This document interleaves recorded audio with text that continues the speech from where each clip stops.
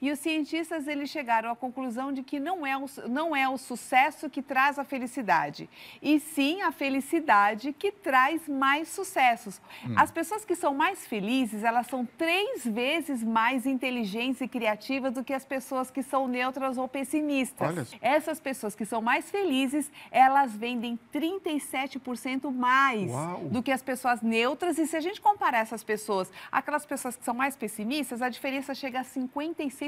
Meu Olha só, Deus vale a pena ou não vale a pena Opa, ser feliz? Claro. 31% mais produtivas do que as pessoas que são neutras ou pessimistas.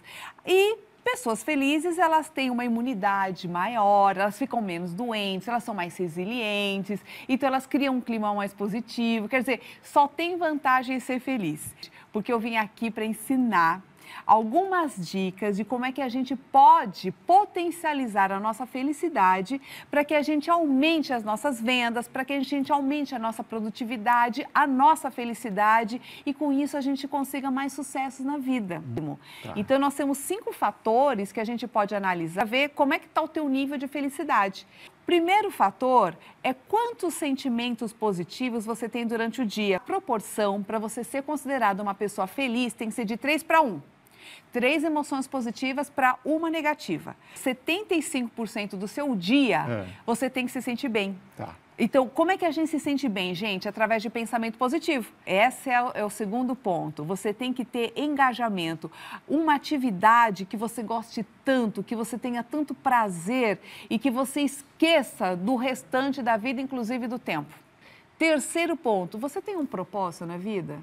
Você tem uma razão para existir? Um objetivo? Isso. Para que, que você acorda todo dia? Tá. Então, as pessoas que têm uma resposta para isso, então elas têm um propósito na vida. Quarto ponto. Quarto. Ó, então, são cinco pontos. Então, como é que são os seus relacionamentos familiares, os seus relacionamentos amorosos, as suas amizades, os seus relacionamentos do trabalho? Como é que são? São positivos ou são negativos?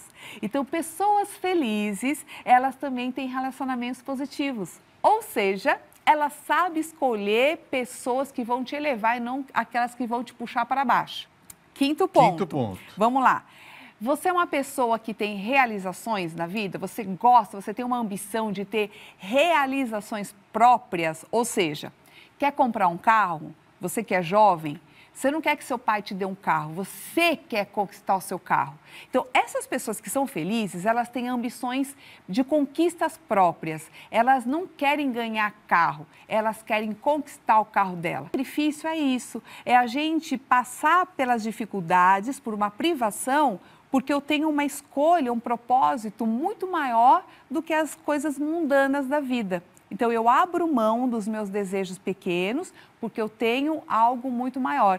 Então aí, ó, gente, nós somamos aqui os cinco pontos para ver se você é uma pessoa feliz ou não.